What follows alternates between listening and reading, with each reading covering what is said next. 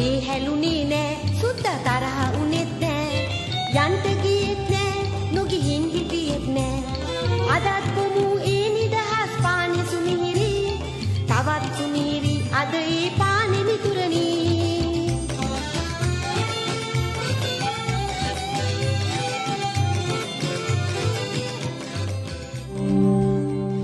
හැත්ත එක්වනි නිදහස් දිනය අභිමුව අපි කතා කළේ අපේ රට නිදහස ගැන ස්වාධීනත්වය ගැන. ඉතින් පසුගිය වැඩසටහනේදී අපි කතා කළා නිදහස කියන සංකල්පය පිළිබඳව ජනතාවට පොදු අදහසක් තියනවාද? ජාතික දජයේ එසවීම නිදහස එහෙම නැත්නම් ජාතික දින උත්සවයේදී නිදහස එහෙම නැත්නම් නිදහස කියන්නේ මීට වඩා පුළුල් දෙයක්ද කියලා. ඉතින් නැවතත් අපි පූජ සහෝදරයත් එක්ක මේ පිළිබඳව කතා කරනවා. ඇත්ත වශයෙන්ම දැන් නිදහස පිළිබඳව ඔබ එදා කියපු විදිහට ඔබ පසුගිය වැඩසටහනේ කතා කරපු විදිහට ජනතාවට පොදු අදහසක් නැහැ. ඇයි මේ පොදු අදහස ඇති වෙලා නැත්තේ? පොදු අදහසක් ඉබේන්නේ නැහැනේ. පොදු අදහසක් සමාජයකට ඇති වෙන්නේ සමාජ ක්‍රියාකාරීත්වයක් කරා. මොකද අපි අදහස කියලා කිව්වට අදහස අදහස අදහස් තලයේ නෙවෙයි එන්නේ. මිනිස්සුන්ගේ ක්‍රියාවක් කරා තමයි අදහස එන්නේ. දැන් වෙනත් රටවල් වල මිනිස්සුන්ට නිදහස පිළිබඳ අදහසක් ඇවිල්ලා තියෙන්නේ. ඒ නිදහස වෙනුවෙන් ඒ අය ක්‍රියාකාරී වෙච්ච නිසා, ඒගොල්ලෝ සටන් කරපු නිසා, ඒ අයගේ මුතුන් මිත්තෝ ඒ වෙනුවෙන් මැරිලා තියෙන නිසා, අරගල කරපු නිසා. දැන් ඉන්දියාවේ ගත්තොත් ඉන්දියාවට නිදහස පිළිබඳ විශාල සම්ප්‍රදායක්, උරුමයක්, මහා ඉතිහාසයක් තියෙනවා. එතකොට ඉන්දියානුවෙක්ට නිදහස කියන එක දැනෙන විදිහ වෙනස්. ලංකාවේ ඇත්තටම තියෙන ලංකාවේ එහෙම නිදහස් අරගලයක් සිද්ධ වුණේ නැහැනේ 1818යි 1848යි දෙකෙන් පස්සේ නිදහස. ඒ කියන්නේ 948 නිදහස ගත්තා කියලා කිව්වට ගෙවිච්ච සියවස ඇතුළේම අරගලයක් වුණේ අන්තිමට 848 එවැනි අරගලයක් වුණේ ඊට පස්සේ ලංකාවේ ජනතාවගේ නායකයෝ කියලා හිටපු අය ඉතින් නිදහස ප්‍රතික්ෂේප කරපු අය අපි දැන් අද නිදහසේ නායකයෝ කියලා පිළිගන්න අය. ඕගොල්ලෝ ගියොත් අපි කොහොමද මේක තනියෙන් පාලනය කරගන්න යන්න එපා කියලා කියපු අයනේ. එතකොට එතකොට ලංකාවේ ජනතාවට නිදහස පිළිබඳ අදහස හොඳින් එන්නේ නැහැ. නමුත් නමුත් ඒකේ ප්‍රායෝගික ගැටලුවක් තියෙනවා නේද ප්‍රකාශ මොකද ලංකා වමේ ව්‍යාපාරය සෑහෙන්න ඔබ ඔබත් ක්‍රියාකාරීව සහභාගී වෙච්ච වමේ ව්‍යාපාරය දිගින් දිගටම නිදහස සහ ස්වාධීනත්වය පිළිබඳ අරගල කළා. ඉතින් අපිට කියන්න පුළුවන් ජනතාවට ඒ පිළිබඳ දැනුවත් වීම තාමත් ගිහිල්ලා නැහැ කියන එක. ඒ වමත් යම් ආකාරයක ප්‍රභූවාදයක් නියෝජනය කරා. එතකොට ඒගොල්ලොන්ට මේ ගැමියා හරි කම්කරුවා හරි කියන්නේ තමන්ගේ සටන් පාටයකට පාවිච්චි කරන්න තියෙන ඔබ්ජෙක්ට් එකක් වස්තුවක් මිසක ඒගොල්ලොත් එක්ක අනන්‍ය වෙලා ඒ කියන්නේ අර මුළු හදවතින්ම මුළු ඇට ලේ මස් නහර වලින් නිදහසත් එක්ක ඒගොල්ලෝ බැඳිලා හිටියේ නෑ. පරණ වමේ නායකයෝ උදේට බ්‍රෙක්ෆාස්ට් එක ගනිද්දී ඒගොල්ලෝ ඒගොල්ලෝ උදේ දුවලා ඇවිල්ලා ජොගින් කරලා ඇවිල්ලා බ්‍රෙක්ෆාස්ට් එක ගනිද්දී වෘත්තීය සමිති නායකයා එතන හිටගෙන තමයි කම්කරුවගේ ප්‍රශ්න ටික එයාට කියන්නේ කියලා. ඒකට එයා තනියෙන් බ්‍රෙක්ෆාස්ට් එක ගන්න ගමන් අරක අහගෙන ඉන්නේ වාඩි වෙලා යුක්ති සමිති නායකයා හිටගෙන ඉන්නේ. එහෙම වමක් නේ අපිට තිබුණේ. ඒකට ඒක ගැන අපිට ස්වයං විවේචනයක් තියෙන්න. එතකොට ඒ නිසාම වම ඇත්තටම ඔය කියන ඊනියා ජාතික නායකයන්ටයි ජාතිකවාදීන්ටයිත් වඩා ජනතාවට දුරස් වුණානේ. මම ඒ නිසා මමත් එක්ක අනන්‍යතාවයක් තිබුණේ නැහැ. ඒ ඒ ඒ ප්‍රශ්නේ තමයි මේ අදටත් අපි ඉස්සරහා මේ තියෙන්නේ. හැබැයි දැන් අද දවසේ නිදහස ගැන ජනතාවට පොදු අදහසක් නොතිබුණාට එක එක ශේෂ්ත්‍රවල නිදහස ගැන කතා කරනවා. ශිෂ්‍යෝ අධ්‍යාපනයේ නිදහස ගැන කතා කරනවා. ඊට පස්සේ සෞඛ්‍ය පිළිබඳ සම සෞඛ්‍ය අයිතිය ගැන කතා කරනවා. රැඳවුම්කරුවෝ දේශපාලන රැඳවුම්කරුවෝ දේශපාලන රැඳවුම්කරුවන්ගේ නිදහස ගැන කතා කරනවා. ඒ වගේම විවිධ ජාතිකත්වයන්ට අයිති කොටස් මේ ජාතිකත්වයන්ට අයිති නිදහස ගැන කතා කරනවා.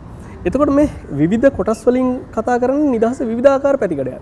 මොකක්ද මේ තත්ත්වය? ඒ කියන්නේ මෙච්චර කල් නිදහස කියලා සාකච්ඡා වුණේ ප්‍රභූ පිරිසකගේ නිදහස. ප්‍රභූ පිරිසකට අවශ්‍ය නිදහස. ඒ වෙනුවට ජනතාව Tamanට දැනෙන පරිමාණයෙන් ශිෂ්‍යෝ කියනවා නම් අධ්‍යාපනයේ නිදහස. ඊට පස්සේ රෝගියා කියනවා නම් නිදහස් සෞඛ්‍ය. ජාතික පීඩනයට ලක්වෙච්ච සුළුතර ජාතික ප්‍රජාවන් කියනවා නම් අපිට අපේ සංස්කෘතිය සඳහා භාෂාව සඳහා නිදහස කියලා අපි හිතනවා ඒක තමයි ප්‍රගතිශීලී දේ. එතනින් තමයි පටන් ගන්න ඕනේ. ඒකේ සීමාවක් තියෙනවා. Tamanට දැනෙන කෑල්ල විතරනේ. නමුත් ඒ සියලු ඒවා ටික එකට එකතු වෙච්ච පුළුල් මහජන ව්‍යාපාරයකට තමයි දැන් නිදහස දිනා ගන්න පුළුවන්. ඒ නිසා නිදහස් අරගලයක් තියෙනවා. නිදහස් සඳහා අරගලයක් තියෙනවා. ඒ නිදහස් අරගලය කියන එක ජනතාවගේ මූලික අයිතීන් සමගත් සම්බන්ධයි. කියන්නේ රනිල් වික්‍රමසිංහ මහත්තයාගේ රැකියාව සඳහා නිදහස කියන එක තමයි පහුගිය කාලේ නිදහස කියලා අර්ථ දැක්ුණේ. හැබැයි ලංකාවේ ඉන්න රැකියාව විරහිත තරුණයෝ විශාල පිරිසක් ඉන්නවා. ඒ අයට රැකියාවක් සඳහා නිදහස කියන එක පිළිගැනෙන්නේ නැහැ. රනිල් වික්‍රමසිංහ මහත්තයාට රස්සාව නැති වෙද්දි තමයි ඔක්කොමලා නිදහස නැති වෙලා කියලා කෑ ගහන්නේ. ඉතින් ඒ ප්‍රශ්නේ තියෙනවා. දැන් රැඳවියන් ගැන කිව්වොත් එහෙම අන්තිම අන්තිම මනුෂ්‍යත්වයට නොගැලපෙන කොන්දේසි යටතේ තමයි දැන් රැඳවියෝ ඉන්නේ. දැන් අපි දැක්ක අඟුණකොළ පැලස්සේ බන්ධනාගාරේ රැඳවියන්ට පහර දෙන විදිහේ වීඩියෝ දැක්කා. එතකොට උතුරේ කොහොම පහර දෙනවද? නිමල රූපවල ඩෙල් රුක්ෂාන්ලා අනුරාධපුරයේදී වවුනියාවේදී පහර දීලා මරනකොට වෙන්නේ නැත්තේ මොකක්ද? ඒක හරි පැහැදිලි. කොහොමද ඒගොල්ලෝ මරන්නේ නැත්තේ කියලා දැන් තේරෙනවා. අර දකුණේ දකුණේ අන්ත දකුණේ අඟුණකල පැලැස්සේ බන්ධනාගාර රැඳවියන්ට පහර දෙන විදිහට ඒ අය උතුරේදී කොහොම හැසිරෙන්නේ නැද්ද කියලා තේරෙනවා. ඉතින් ඒ ඒ සියලු දෙනාගේ නිසා රැඳවියෙක්ට කුටි නොකා සිටීමේ නිදහස. එතන ඉඳලා ප්‍රශ්නයක් තියෙනවා. එතකොට මේ ටික මේ මේ සියලු දේවල් එකට ඒකාබද්ධ කරගත්ත ව්‍යාපාරයක් ගොඩනැගීමේ වගකීම අපි හිතනවා වමට තියෙනවා. වම ඉතිහාසයේ කාර්ය කොටස නොකිරීම විසින් තමයි මේ ප්‍රශ්නේ උද්ගත වෙලා තියෙන්නේ. හැබැයි ප්‍රශ්නට උත්තරේ හොයන්න පුළුවන් වමටමයි. ඒක නිසා අපි හිතනවා ඒ වගකීම තාම බැරෑරුම් අපි ඔලුවට ගන්න ඕන කියලා එවැනි වගකීමක් අපිට තියෙනවා කියලා. මොන විදිහට මේ කතිකාව පටන් ගන්න ඕනේ කොතනින්ද මේක ආරම්භය සංකලන කරන්න ඕනේ ඇත්තට මේක ගැන මේ වගේ වැඩසටහනක කෙටියෙන් කියන්න අමාරු තරම් සංකීර්ණ දෙයක් තියෙනවා. නමුත් මම ඔබට කියන්නම් සල්මන් රෂ්ටි ලියපු Midnight Children මැදියම් රැයේ දරුවෝ කියන කෘතියේ එක තැනක තියෙනවා සලීම් සලීම් කියලා එයා ඒ සලීම් ඉපදෙන්නේ හරියටම ඉන්දියාවට නිදහස ලැබෙන්නේ මධ්‍යම රාත්‍රියේ. මදියම් රැයේ නිදහස කියන්නේ ඒකයි ඉන්දියාවේ. ඒ නිදහස ලැබෙන වෙලාවෙම තමයි සලීම් ඉපදෙන්නේ. එතකොට ඒ කෘතියේ තියෙන්නේ අන්නේ නිදහස ලැබුණු මැදියම් රැයේ ඉපදුණු දරුවන්ගේ පරම්පරා ඇත්තටම නිදහස භුක්ති විඳද කියන ප්‍රශ්නේ. ඒක හරි මැජිකල් විදිහට හරි හරි මැජික් විදිහට තමයි ඒ කෘතියේ එක තියෙන්නේ. එදා ඒ නිදහස ලැබුණු දවසේ රෑ 12ට සලීම්ගේ සීයා ලොකු භූමිකම්පාවක් වගේ ඇඳ හෙල්ලෙනවා දැනිලා එයා ඇඳෙන් බිමට වැටෙනවා. බිමට වැටලා තමයි ඇහැරෙන්නේ. ඇහැරෙනකොට භූමිකම්පාවට ඇඳ හෙල්ලෙන නිසා කාමරේ හෙල්ලෙනකොට රේඩියෝ එක ඉබේ ඔන්න වෙනවා. ඔන්නලා රේඩියෝ එකේ නිවුස් එක කියනවා දැන් බ්‍රිතාන්‍යයන් විසින් ඉන්දියාවට නිදහස ලබා දුන්නා. අද සිට ඉන්දියාව නිදහස් රටක්. මේ නිදහස ලබා දෙන මොහොතේ ඉපදිච්ච දරුවෝ ගැන දැනුම් දෙන්න නිදහස ලබා දෙන නිදහස් ඉන්දියාවේ ඉපදුණු පළවෙනි දරුවන් සඳහා ඉන්දියාව විශේෂ ත්‍යාගයක් සූදානම් කරලා තියෙනවා. ඒ ඒ ප්‍රවෘත්තිය ඇහෙනකොට මෙයාට ඇහෙනවා එයාගේ මුණු පුරා අඬන සද්දේ ඉපදිලා. එතකොට එතකොටම හරි අద్භූත දෙයක් වෙනවා. ඒ සීයාගේ සලීම්ගේ සීයාගේ ඇඳ යටින් ට්‍රංක පෙට්ටියක් එළියට එනවා. ඒ ට්‍රංක පෙට්ටියේ දොර භූමිකම්පාවේ කම්පනයට ඉබේ ඇරෙනවා. එතකොට එයා ඒ ට්‍රංක පෙට්ටිය දිහා මෙහෙම එබිලා බලනකොට ඒකේ තියෙන්නේ ලෙනින්ගේ කල යුත්තේ කුමක්ද පොත. සල්මන් රෂ්ටි කියන්නේ ලෙනින්ගේ කල යුත්තේ කුමක්ද පොතේ තියෙන විදිහට ඉන්දියාවට නිදහස ගත්තා නම් සලීම්ලට අවුරුදු 80කට පස්සේ මේ ඉරණමත් වෙන්නේ නැහැ.